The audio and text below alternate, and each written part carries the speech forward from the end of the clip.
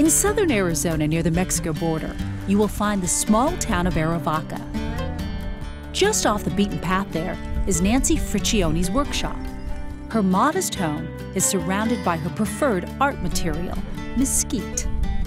Mesquite is one of the most beautiful woods in the world. It's dense, heavy, it goes all different directions, every piece is different. Nancy first began crafting furniture pieces out of mesquite with her husband about 15 years ago. After his passing, she continued with the art she'd learned from him. These are some of the really big slabs. Uh, my husband cut this one. I've made a few tables out of it. It's really hard work, especially for an older woman. But I like it because I'm working all by myself mostly. So I make my own hours. Mostly I just make things as I want to. I don't uh, make too many orders. I consider what I do art furniture.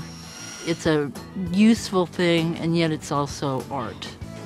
It's definitely rustic because I use all of the lines of the wood. I don't do any square things. And it's very simply put together, mortise and tenon, um, but it's highly polished and lovely. I prefer to just make things, simple things, benches, tables, end tables.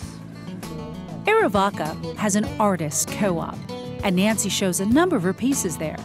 She also shows her furniture in Tubac and in Green Valley. We live in a very small, out of the way place. People are mostly coming through during the winter months, so people stop at our artist co op and see things. I have a website.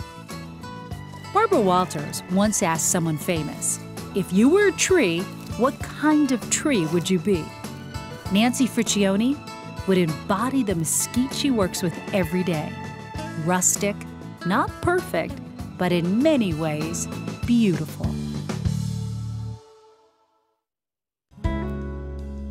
Arizona Highways Television is brought to you by Arizona Public Service and the Arizona Office of Tourism.